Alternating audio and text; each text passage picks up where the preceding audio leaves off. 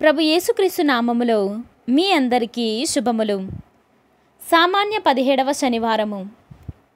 ఈ సంగతులెల్లా మీకు తెలియజేయుటకు ప్రభువే నన్ను పంపెను. మొదటి పట్టణము ఇర్మియా గ్రంథము ఇరవై ఆరవ అధ్యాయము ఒక పదకొండవ వచనము నుండి పదహారవ వచనం వరకు మరియు ఇరవై నాలుగవ వచనం వరకు. అప్పుడు యాజకులను ప్రవక్తలను నాయకులతోనూ ప్రజలతోనూ. ఇతడు ఈ నగరమునకు వ్యతిరేకముగా ప్రవచనము చెప్పెను. కనుక ఇతనికి మరణశిక్ష విధింపవలేను. మీరును ఇతని మాటలు వింటిరి కదా అని అనురి. కాని నేను వారికిట్లు జవాబు చెప్పి తిని నేనీ దేవాలమునకును నగరమునకును వ్యతిరేకముగా పలికిన మాటలను మీరు వింటిరి. ప్రభువు నన్ను పంపి ఈ మాటలు పలికించెను. కనుక మీరు మీ మార్గములను క్రియలను మార్చుకొని ప్రభువునకు విధేయులు కండు. అట్లయినా అతడు తన మనసును మార్చుకొనును. తాను నిశ్చయించుకొనినట్లుగా మిమ్ము నాశనము చేయడు. నా మట్టుకు నేనును మీ ఆధీనమున ఉన్నాను. మీకు ఉచితముగాను న్యాయముగాను తోచిన దానిని మీరు చేయవచ్చును. కానీ ఈ సంగతిని గుర్తింపుడు. మీరు నన్ను చంపుదురేని మీరును ఈ నగరవాసులను నిర్దోషిని చంపినట్లగును. ఈ సంగతులెల్లా మీకు తెలియజేయుటకు ప్రభువే నన్ను పంపెను. అంతటా నాయకులను ప్రజలను యాజకులతోనూ ప్రవక్తలతోనూ ఇతడు మన దేవుడైన ప్రభువు పేరు మీదుగా మాటలాడెను. కనుక ఇతనికి మరణశిక్ష విధించుట తగదు అని అనిరి. కానీ షాఫాను కుమారుడైన అహికాను నా కోపు తీసుకొనెను. కనుక వారు నన్ను ప్రజలకు అప్పగించి చంపింపరైరి.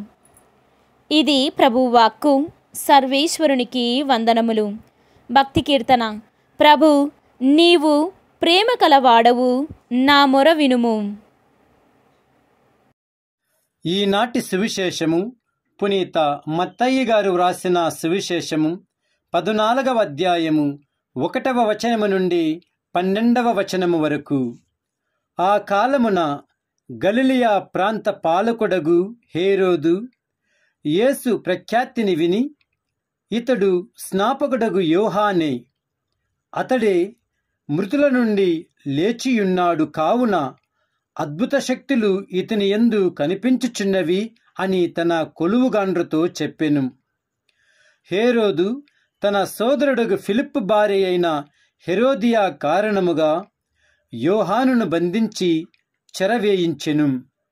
ఏలైనా ఆమెను నీ ఉంచుకొనుట ధర్మము కాదు అని యోహాను హేరోదును హెచ్చరించుచుండెను. యోహానును చెంపుటకు హేరోదు నిశ్చయించెను.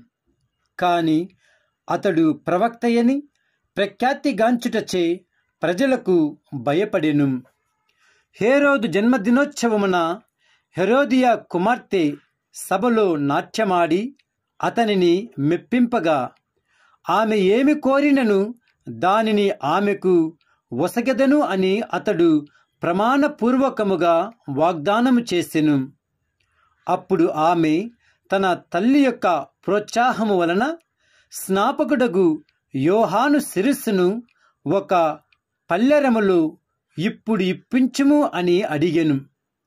అందుకు ఆ రాజు దుఃఖించెను.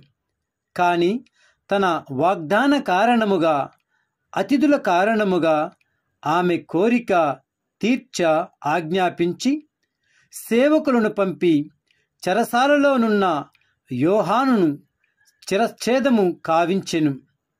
వారు అతని తలను పల్లెములో తెచ్చి ఆ బాలికకు ఇవ్వగా ఆమె దానిని తన తల్లికి అందించెను. అంతట యోహాను శిష్యులు వచ్చి అతని భౌతిక దేహమును తీసుకొని పోయి భూస్థాపితము చేసిరి. పిమ్మట వారు యేసు వద్దకు వెళ్ళి ఆ విషయమును తెలియచేసిరి. ఇది క్రీస్తు సువిశేషము. క్రీస్తువ మీకు స్థుతి కలుగునుగాక.